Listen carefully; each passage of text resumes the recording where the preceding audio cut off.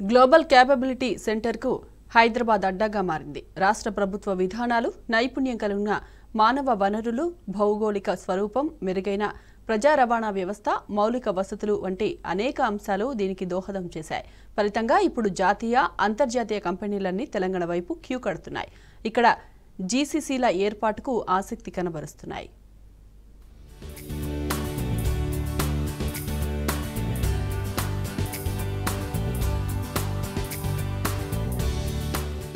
ప్రపంచవ్యాప్తంగా ఉన్న తమ వినియోగదారుల కోసం కంపెనీల కార్యకలాపాల నిర్వహణలో గ్లోబల్ క్యాపబిలిటీ సెంటర్లు ఎంతో కీలకంగా మారాయి. ఈ జీసీసీలకు ఇప్పుడు హైదరాబాద్ వేదిక అవుతోంది కొన్ని పెద్ద కంపెనీలు తమ జీసీసీలను ఎక్సలెన్స్ సెంటర్లుగా పరిగణిస్తున్నాయి.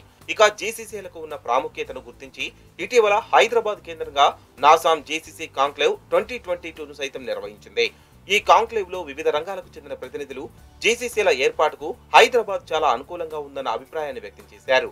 ఇతర నగరాలతో పోలిస్తే ఇక్కడున్న మౌలిక సదుపాయాలు అసమానమైనవిగా పేర్కొన్నారు. అంతర్జాతీయ విమానాశ్రయం నుంచైనా నగరంలోని ఏదైనా ప్రధాన ప్రాంతం నుంచైనా ఐటీ కారిడార్లోని గమ్యస్థానానికి గంటలోపు చేరుకోవచ్చు. దీనికి తోడు నగరంలో అరవై తొమ్మిది కిలోమీటర్ల మెట్రో రైల్ కనెక్టివిటీ ఉండడం ప్లస్గా మారింది.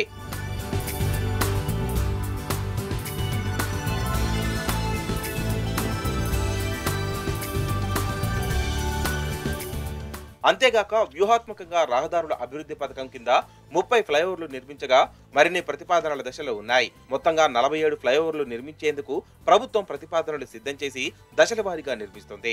ప్రభుత్వ పనితీరు వల్లే ప్రపంచవ్యాప్తంగా ఎంతో పేరున్న సంస్థ మెర్సర్ వరుసగా ఆరేండ్లుగా హైదరాబాద్ను దేశంలోని అత్యంత నివాసయోగ్యమైన నగరంగా ఎంపిక చేసింది.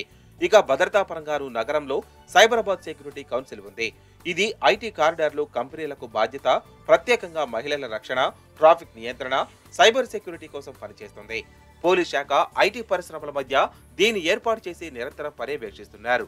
ఇలాంటి పరిస్థితులే జాతీయ అంతర్జాతీయ కంపెనీలకు అనుకూలంగా మారాయి.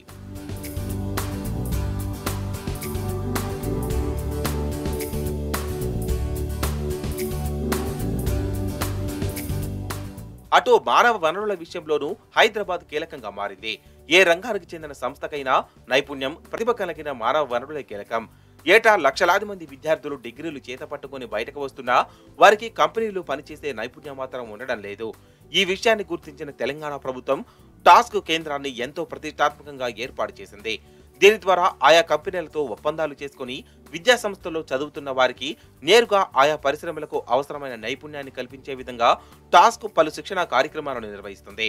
ఇప్పటికే ఇరవై ఏడు సంస్థలతో టాస్క్ ఒప్పందం కుదుర్చుకొని ఉండగా ఇటీవల కొత్తగా మరో ఇరవై ఆరు జాతీయ అంతర్జాతీయ కంపెనీలతో భాగస్వామ్యం ఏర్పరచుకుంది. టాస్క్ తన సొంత ఖర్చుతో జీసీసీల అవసరాలకు అనుగుణంగా ఇండక్షన్ ప్రోగ్రాంలను నిర్వహిస్తుంది. మరే రాష్ట్రం ఇలాంటి కార్యక్రమాలను చేపట్టలేదు.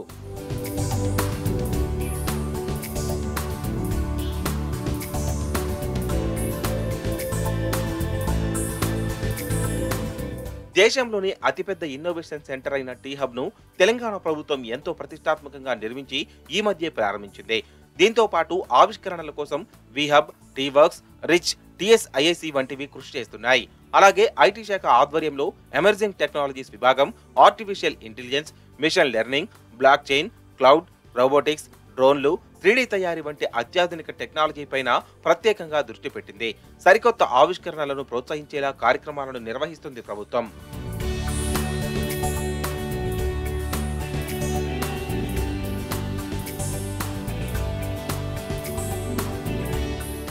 దేశంలోనే ఐటీ ఐటీ అనుబంధ రంగాల్లో హైదరాబాద్ మహానగరం గణనీయమైన వృద్ధిని సాధించింది.